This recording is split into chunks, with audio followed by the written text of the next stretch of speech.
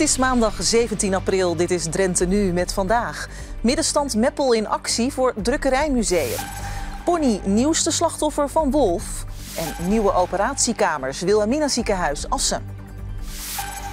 Heel de winter was het cold en kil, maar half april, dan wordt het beter. Zo wil althans een liedje van Daniel Lohuis. Nou, half april is het best. En hoeveel beter of het wordt met het weer de komende dagen, dat hij zo. Goedenavond. De deur van het Drukkerijmuseum in Meppel staat nog op een kier.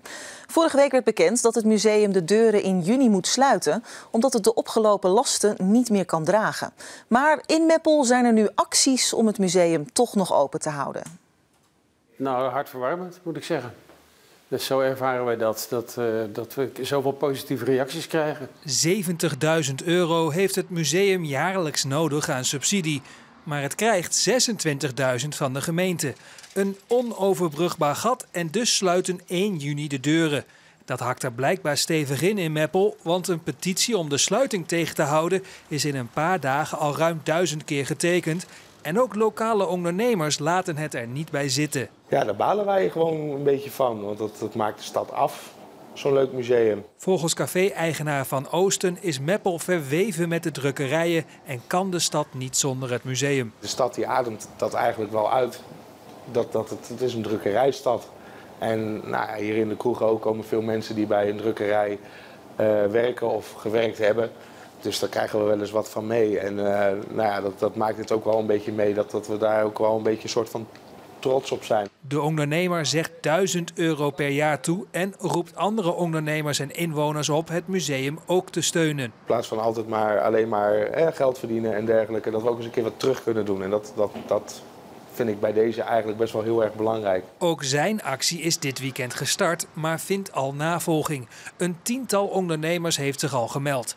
Het Drukkerijmuseum is blij met alle positieve aandacht, maar kijkt nog steeds vooral naar de gemeente. Wij kunnen natuurlijk niet alleen maar op sponsoring eh, en op crowdfunding eh, draaien. Want dan zitten we volgend jaar weer op hetzelfde, punt. Het museumbestuur hoopt ook dat deze acties de gemeente overtuigen toch de jaarlijkse bijdrage omhoog te doen. En dan kan het zelf een eventueel kleiner gat aanvullen met donaties. Mensen die het museum willen steunen met een kleiner bedrag kunnen ook gewoon een toegangskaartje kopen. Dat kan nog sowieso tot 1 juni. Nou, dit keer is geen schaap, maar een pony het nieuwste slachtoffer van de wolf in Drenthe. Het dode dier lag in een natuurgebied in Wapserveen.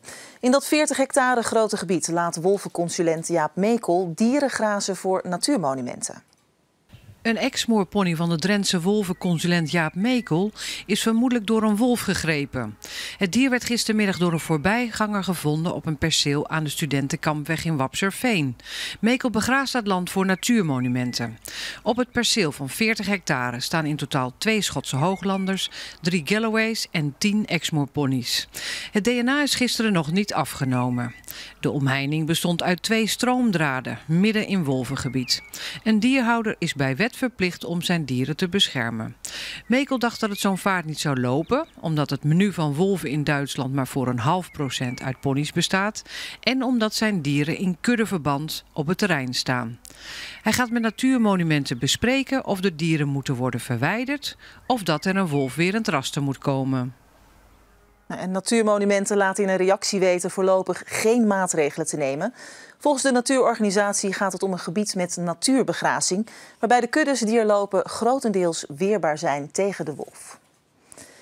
Nou, dan het aantal meldingen van tekenbeten is vorig jaar met een derde gedaald ten opzichte van het jaar ervoor. Dat meldt tekenradar.nl. Volgens onderzoekers is die daling mogelijk te verklaren door de droogte van vorig jaar. Wel loop je in Drenthe naar verhouding het grootste risico op een tekenbeet, gevolgd door de provincies Gelderland en Flevoland. Voor dit jaar verwachten deskundigen een goed jaar voor de teek, omdat het jaar relatief warm en nat is begonnen. En zo moet je eruit hebben gezien. heb je dus een aantal uh, nou, bovenaan zijn gezicht. En dan kun je hem uit elkaar gaan trekken. Zie je? En dan ontstaat er een, een 3D-beeld. Nou, zo ga je elk gebouw op detail maken. Nou, straks meer over deze tijdrovende klus in Dwingelo. Maar eerst naar het Wilhelmina ziekenhuis in Assen, want daar is morgen een klein feestje. De oude operatiekamers worden na 30 jaar gebruik ingeruild voor nieuwe. De stijgers staan nog. Hier en daar wordt nog geklust en de nieuwigheid is nog te ruiken. Maar toch is het OK-complex van het WZA al volop in gebruik. We staan hier op de recovery en holding. Dus aan, uh, aan jullie linkerkant uh, de recovery. Dus daar, uh, dat is de uitslaapkamer van de patiënten. En aan de rechterkant de holding. Dus daar komen de patiënten binnen. En daar worden ze geprepareerd om richting de operatie te gaan. En het andere bouwdeel zijn de operatiekamers, operatiegang en, uh, en, en bergingen voor medische hulpmiddelen, medische apparatuur, wat we nodig hebben om te kunnen opereren. De medewerkers zijn maar wat blij met hun nieuwe werkplek. We hebben meer ruimte dan we hadden, uh, veel licht. Uh, ja, de nieuwste technologieën, hè, dus uh, zeker op de operatiekamer, is het werken voor de specialisten, ook assistenten, anesthesiemedewerkers, ontzettend prettig. Hè. Dus, uh, dus veel ondersteuning, digitaal, um, um, hele goede luchtbeheersing, uh, wat ook maakt dat we heel veilig kunnen werken. De verbouwing heeft zo'n twee jaar geduurd. Bouwen op een bestaand ziekenhuis is een enorme klus. Heeft heel veel impact op het uh, bestaande proces. En dan moet je dus bij alles wat je doet aan de voorkant over nadenken. Hoe gaan we het doen? Welke afspraken maken we met de aannemer en met de gebruikers? Morgen worden de nieuwe operatiekamers officieel geopend. Toch wordt er al een kleine week geopereerd. En ondertussen worden de puntjes op de i gezet. Kinderziekte zeker. Het is helemaal nieuw. Dus dan uh, zou het heel raar zijn als je niks zou tegenkomen. Nee, we hebben nog een fase 2. Dus we gaan ook nog een uh, dagcentrum erachter bouwen. Plus we moeten met de collega's van de OK gaan wij, uh, hebben we bijna dagelijks overleg van wat zijn showstoppers en wat kan over een aantal weken. Het WZA verwacht met dit nieuwe OK-complex zo'n 15 tot 20 jaar vooruit te kunnen. Nou, hoe zag Dwingelo eruit voor de verwoestende brand van 100 jaar geleden? Albertus Nieuwe Huis is druk bezig om dat in kaart te brengen. En dat doet hij van ieder pand in 3D-beeld. Een project van de lange adem dus. De laatste drie jaar heb ik elke avond achter de computer gezeten. Albertus Nieuwenhuis is al tien jaar bezig met de reconstructie van de brand in het dorp Dwingelo van 100 jaar geleden.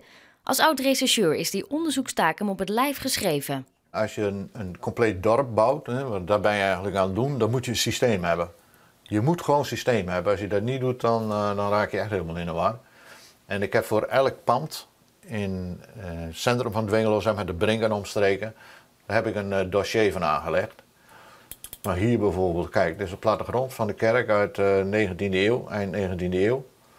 Nou, dit is de basis geweest om, uh, om de kerk te bouwen. Zo moet het eruit hebben gezien. Heb je dus een aantal uh, nou, bovenaanzicht, zijaanzicht, vooraanzicht en dergelijke. De brand escaleerde en legde een groot gedeelte van het dorp in de as. Van sommige gebouwen zijn nog wel foto's. De historische vereniging Dwingels Eigen heeft bijvoorbeeld een verzameling. Ik heb Albertus geholpen met het aanleveren van, van oude foto's en uh, van kadastergegevens. Uh, je moet het zien als ja, een, een, een, partij van, van, van, van kleine keuterboerderijtjes, een enkele grote boerderij. Ja, dat is helemaal in vlam opgegaan. Gelukkig hebben we nog hele mooie oude foto's. We hebben een uh, fotograaf gehad, een schoolmeester die foto's maakte rond 1900. Dus er zijn nog wel wat foto's beraad gebleven. En ja, als je daar naar terugkijkt, dan, dan weet je wat je mist. Dat wordt nog duidelijker in 3D. Je, je ziet dan iets je, bent iets, je bent streep aan het maken op de computer, het is net als schilderen. En vervolgens zie je een pand ontstaan. En als je dan ook nog een VR, een virtual reality bril op kan zetten... en je kan ook nog in zo'n pand kijken en rondom... ja, dan, dan is het net een schilderij wat je aan het maken bent. En dat vind ik het mooie ervan. Dus elk pand is voor mij wat dat betreft een digitaal schilderij. Dit is driedimensionaal. Dan vervolgens maak ik een kleur in en kunnen we eromheen lopen. Nu gaan we om het pand van Vlokstra heen, lopen naar achteren, kijken naar links en daar heb je het pothok. Het pothok was waarschijnlijk de plek waar de brand ontstond. Dat is het hoekie. Alleen de beelden van het huidige dorp worden nu nog gemaakt. Zoals het nu is, de realiteit zeg maar, uh, die wil ik plakken op zoals het vroeger was. Een beetje deze kant op en dan een beetje over laten gaan van, uh, nou, zo zag het er toen uit en zo nu. Ik kan weg hoor. En dan zit straks tien jaar werk erop. Dan gaan we nog naar de sport, want FC Emmen is naar speelronde 29 weer een plek gezakt in de eredivisie. Door de nederlaag bij Ajax staat de formatie van trainer Dick Lukien onder de streep op de nacompetitieplek. Was de nederlaag in Amsterdam er nou eentje met perspectief voor de laatste vijf wedstrijden van het seizoen? Of toch niet? Feit is dat Emmen lang mocht hopen op een resultaat tegen Ajax. En dat de scorende Jeremy Antonissen steeds beter in vorm begint te komen. Het was toch een belangrijke goal dat ook. Dus uh, ja, het was lekker. was een lekker gevoel. Ja, het was een goede aanval ook. Ja, ja zeker, zeker. En op dat moment heb je dan het idee, het kan, die stunt? Ja, tuurlijk. tuurlijk. Als je die aansluiter maakt en je hebt nog uh, zeker 30 minuten zo te spelen, dan, ja, dan denk je wel dat je kunt gaan stunten hier. Maar goed, uiteindelijk moet je ook reëel zijn. We hebben natuurlijk vooral verdedigd deze wedstrijd. Maar het is niet dat we geen kans hebben gehad. Dus uh, ik denk dat bepa bepaalde momenten, vlak na de 1-0, kans van Rich. En volgens mij in het begin op 0-0 dat Rich uh, werd geblokt door Roelie. Dus we hebben wel kansen gehad. Dus in die zin uh, ja, kan je er wel wat mee in de zin van we hebben wat gecreëerd tegen gewoon een, een goede ploeg. Als je iets wilt halen hier, dan kun je niet zo verdedigen zoals we hebben gedaan. Dus een corner niet goed verdedigen, daarna een rebound niet goed verdedigen, waardoor Sanchez kan scoren. De tweede goal is een bal in ons blok waarin uh, zeg maar, een beetje half staat te dekken. Uh, waardoor Sanchez de vrije man wordt, voor de goal in ondertal zijn.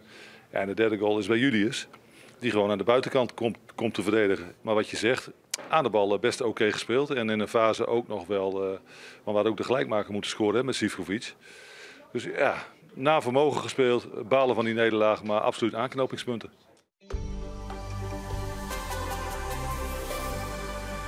Een beetje twijfelachtig wat Sun betreft vandaag. Zak er nog deur komen, zak er niet deur komen. En eigenlijk blijft dat zo de komende dagen. Vanavond eerst is het nog redelijk helder, maar al vrij snel komt er weer bewolking uit het noordoosten. Het blijft wel dreugen, er zit niet al te veel wind, ook uit het noordoosten. En de temperatuur blijft hangen op zo'n 3, 4 graden. Morgen kroeg vanuit Duitsland een mix van wolken en zon. En dat heet nou net, als de zon schijnt en je kunt een plekje uit de wind vinden, ach, dan is het eigenlijk best wel lekker vuur als weer. Maar ja, als het bewolkt is en die stort in die volle noordoostenwind, ja, dan is er eigenlijk maar weinig grap aan. Nou, als de zon treft morgen kan het zo'n 14 graden worden. Woensdag wordt een dag met wat meer zon. Maar ja, er zit wel een vrij straffe noordoostengebied van dat schrale weer. Het wordt dan ook maar amper 13, 14 graden. Donderdag komt er een storing over. Het is bewolkt. Er kan zelfs een beetje misregen uitvallen. Ook dan maar zo'n 13 graden. Vrijdag, dan lijkt het weer wat warmer te worden met een afwisseling van wat zon en bewolking. Maar ja, dat duurt nog een paar dagen. En al met al, de komende paar dagen, ja, wat zit nu een beetje kwakkelig weer. Dat was hem voor deze Drenthe Nu. Online zijn we er natuurlijk dag en nacht met het laatste nieuws in onze app en op rtvdrenthe.nl. Lees daar bijvoorbeeld dat de 78-jarige Jury zijn zwemdiploma A heeft gehaald. Voor nu een heel fijne avond en graag tot morgen.